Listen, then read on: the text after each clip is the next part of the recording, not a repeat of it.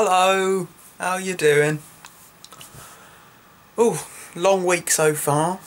Ah, Friday tomorrow, whoop! Weekend day, that's the first weekend day, because when Friday school day's over, it's holiday for two days of work, school work. Whoop. Doing a little bit of a spin.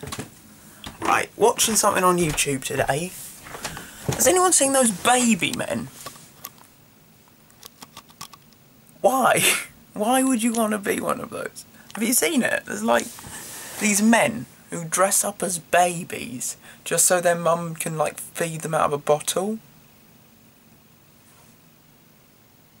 Why?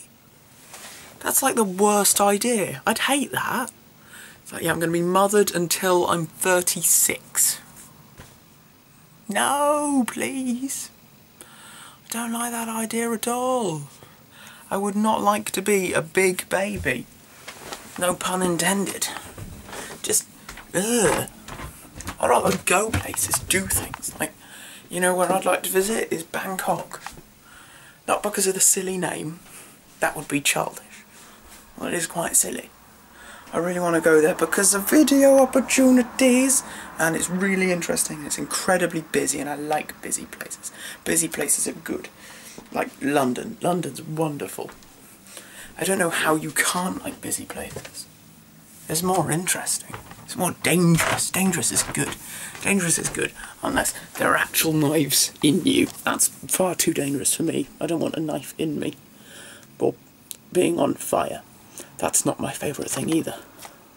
But yeah, that's a good question. If you could go anywhere in the world, like anywhere, where would it be and why? And for how long? Would you stay there? Like, would you go to that seven star hotel that's like a grand to stay in a night? A night! It's like a grand! Christ! Why? Why would you spend that? Is it just like, I went to the seven star hotel? Yeah. Well done. You wasted all your money. That's like owning a golden yacht. Should be an awful idea. Isn't gold quite soft? I don't know much about metal. I didn't do very well at chemistry. But yeah, if you could go anywhere in the world, where would it be and why? Night!